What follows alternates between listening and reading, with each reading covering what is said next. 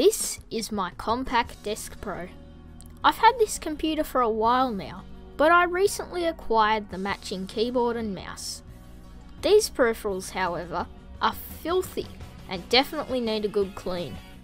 The machine itself isn't that clean either, so today I'm going to take it upon myself to fully restore this machine back to its original glory. First of all, I'm going to pull the computer completely apart and restore its internals to factory original. It's pretty original this computer for the most part, but it just needs a bit of a clean. Compaq computers, especially from the late 90s, are really easy to take apart and don't require any tools. Here you can see me lifting up the front where all the drives live. It's almost like the hood of a car, but a bit different. I'll also just unplug all the drives now, so we can have easier access to the motherboard. This is a very small unit, so you can see the sea of IDE cables that lives within this machine. I'm glad SATA exists, because there's no way you could cable manage a modern computer with cables like that.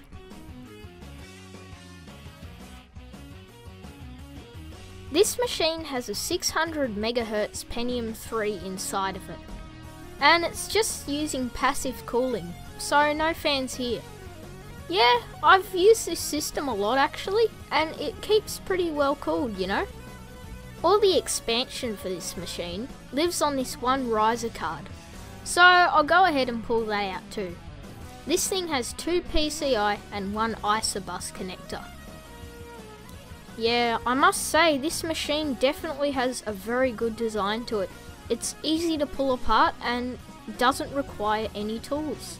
Here, look, that's all you need to do to take the power supply out. Very well planned. Now I'm just going to remove these last few cables, and now, are you ready for this? We can just slide the motherboard right out. No unscrewing here, sorry only toolless disassembly.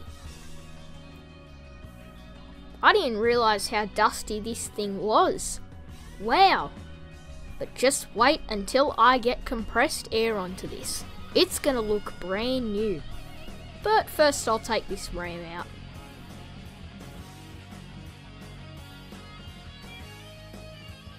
Well, I said compressed air would work a charm, and was I wrong? No, this thing looks immaculate in person. I also used a brush just to get some remaining sticky dirt out of there. But yeah, otherwise it looks perfect. The great thing with passive cooling on CPUs is that it's really easy to clean. You don't need to pull off fans or really pull apart anything. It's quite simple. Just get a brush in there and go for it. With something like a RAM stick, your best bet for cleaning is something like a paintbrush because it just works. There's a few ways you can go about cleaning IDE cables. Some people will just submerge them in water and that works pretty well. But these ones actually aren't too dirty because they're never really exposed to a fan. So I'm just going to use the brush on them because it seems to work perfect and they look good as new. They just have some light dust on them. We've pretty much cleaned all the internals of the computer now. So now I'm just going to reassemble it and turn my attention to the outside of the case.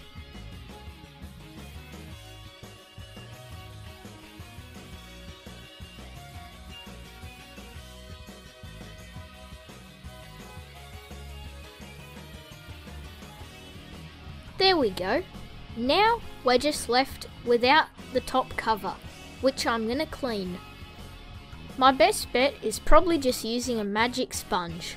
This will remove pretty much all of the little scuffs, because that's all there really is in terms of dirt, and will just make the computer look really good. So yeah, magic sponge.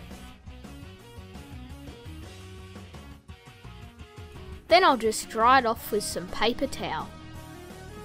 Alrighty, now we can put the cover back on the computer and call the computer done. So yeah. And if you're wondering why I left the little Windows activation sticker and that other one underneath, it's because that's what was there originally, and even though it's all scratched and stuff, I'd rather keep it as close to factory original as possible. Next up is the mouse. This thing is really dirty. I'm going to start by using my magic sponge and just getting the bulk of all this grime off of it. And then I'll give it a deeper clean. Now I'm going to completely disassemble the mouse and it only requires two screws taken out of the bottom. If only designs were this simple these days. These days, a mouse is made so you can't get into it. But look at this. Two screws and it's completely apart. Take notes, computer designers. Now I'm going to clean both sides of the mouse using a garden hose. There we go. It looks pretty much brand new, don't you reckon? Now that the mouse is drying, I can turn my attention to the final component, the keyboard. So I've taken out the six screws on the back of the keyboard. Now we can lift off the back. This thing is really filthy on the outside, so it'll be interesting to see how filthy it is on the inside too. Hey, what do you know? It's actually not that bad. But oh my gosh, Look at all those screws. If I have to unscrew all of those, it'll be very annoying. Well, as my luck would have it, I had to take out all of those screws. Why would they do that? Like, I get that it's by design, but still, you think they could have got away with a few less screws.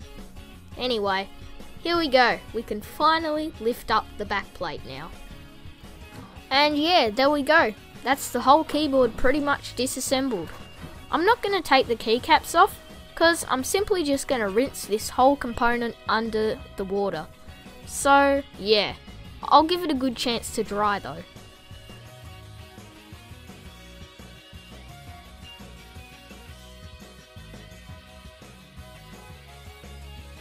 Here we go. I'm going to get rid of 20 years worth of grime on this keyboard. Gosh, how do keyboards end up so dirty? Seriously, people. Be sterile around the keyboard. Now that the keyboard's been washed, I think it looks pretty good, you know? Albeit it's a bit yellowed. Maybe I'll retro bright it in the future. But I reckon it looks really good, yeah.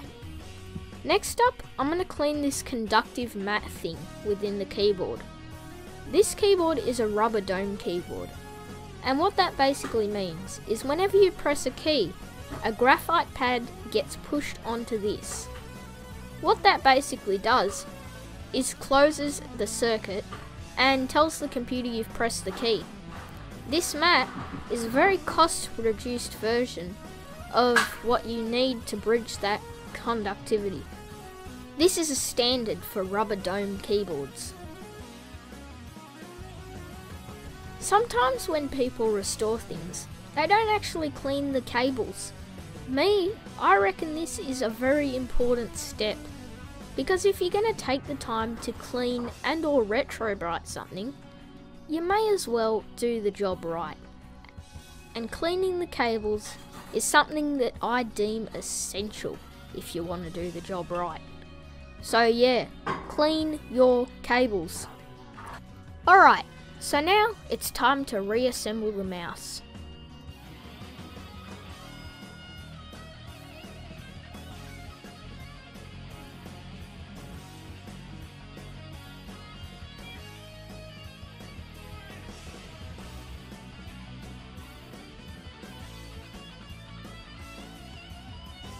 That looks excellent.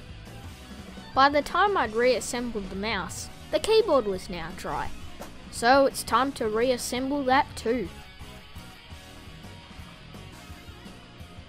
See all of these screws? I have to put all of those just to hold the keyboard in. Crazy. That took me way longer than it should have. I really don't like this design. Anyway, here we go. That last screw is put in. Gosh, I am sick of this. Anyway, now we can put on the back cover of the keyboard. And this involves six more screws. Man, they really screwed up with this design. All jokes aside, that's the keyboard restoration complete. So now we can put everything together and fire it up.